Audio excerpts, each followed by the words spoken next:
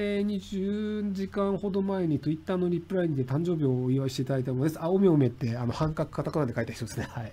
えー、良い一日ありがとうございます。質問なんですが、数年後、海外旅行として社会主義国または日本と文化がかなり異なる国に行きたいという考えのもと、キューバを訪れたいと思ってるんですが、キューバの次はどこがおすすめだと思いますか？えっと、あえっと、北朝鮮はなしにしてくれると嬉しいです。北朝鮮って言おうと思ったんですけど、あの、あと、ミャンマーが面白かったんですけど、今もう治安悪すぎてミャンマー行けないんですよね。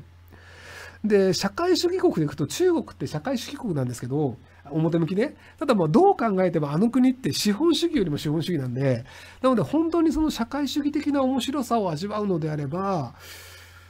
でもミャンマーとキューバと北朝鮮以外残ってないんじゃないかな。あとね、あの、フランスも実はめっちゃ社会主義国なんですよね。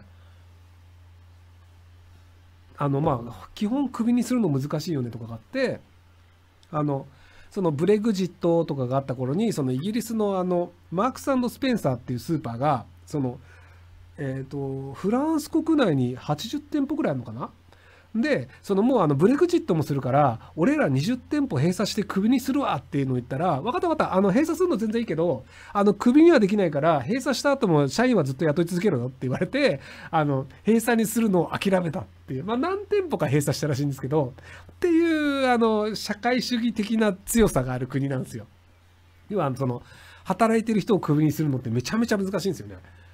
日本とフランスどっちの方が難しいのかなあのフランスの場合ってその会社が潰れるぐらいの勢いじゃないとなかなかクビにできないんですよね。要はその他の事業がうまくいくんだったらそっちで雇うべきじゃんとかっていうのをあの平気で言ってくるのでなので、で、その、あの、まあ、あの、バカンスで1ヶ月とか休むのは当たり前だし、その勤務時間が終わったら帰るのも当たり前なので、なので、その、勤務態度が悪いとかでクビにするの不可能なんですよね。